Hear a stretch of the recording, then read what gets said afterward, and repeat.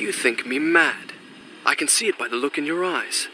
You think my story is impossible. Perhaps I am mad. Who would not be driven mad by horrors such as I have lived? But I assure you, every word is true.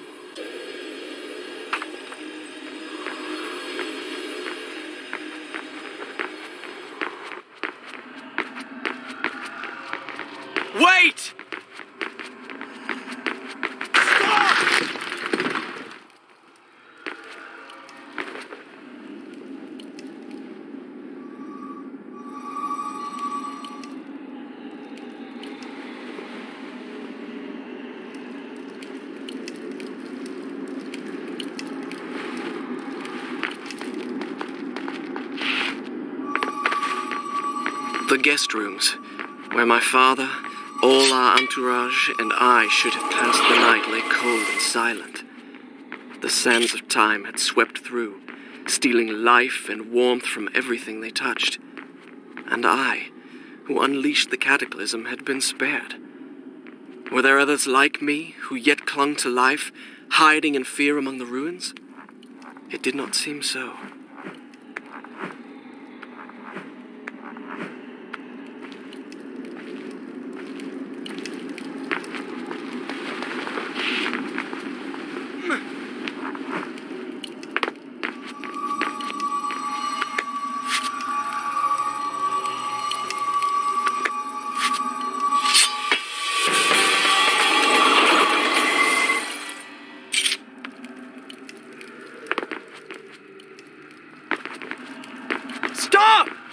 Won't hurt you! Had I really seen her? Or had my senses given way under the burden of horrors too great to bear and conjured up a phantom? Either way, I could not rest until I had found her again.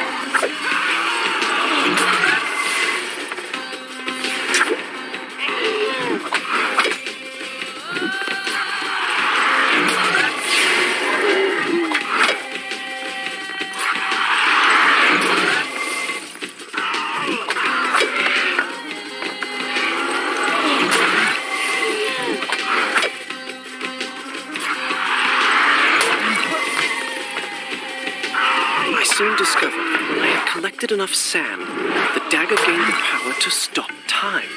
Not for me, but for the enemy I struck.